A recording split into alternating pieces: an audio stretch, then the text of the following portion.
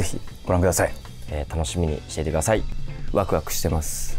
98.9キロです今日は。もう我慢できない、えーやります。ロマンリブで僕を見るのはこれが最後。やっぱり舞台はあの客席で見ていただきたいなって。もう我慢しなくていいんです、見に来てください。えーぜひ見に来てください。よろしくお願いします。